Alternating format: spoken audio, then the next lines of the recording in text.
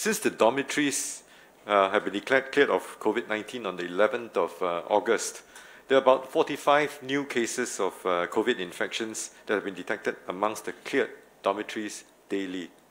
Now, many of the dormitory residents are COVID naive. They've never been infected, so they continue to remain susceptible to COVID-19. However, we are prepared for this. We have put in place a multi-layered strategy to detect as well as to contain any new infections very quickly and very decisively. On top of that, we have also um, enacted various detection strategies, a number of um, them to get workers first to self-monitor their own health, and we closely monitor those who report sick with acute respiratory illnesses. And we also conduct wastewater testing at selected dormitories as a means of early sentinel surveillance.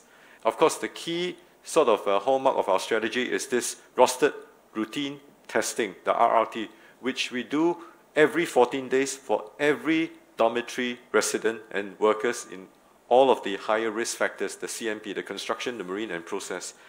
RRT is a key lever in our detection strategy as it is a comprehensive testing for every single dormitory worker every 14 days. And it's very definitive in identifying workers who are infected.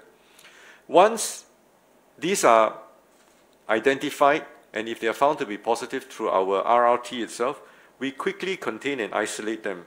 So we ring fence them, we contain the spread by testing and isolating the close contacts and we also carry out very aggressive testing operations within the dormitory based on the assessment of the potential risk of spread. And these measures have enabled us to quickly isolate new cases at the dormitories as well as contain the spread of the virus.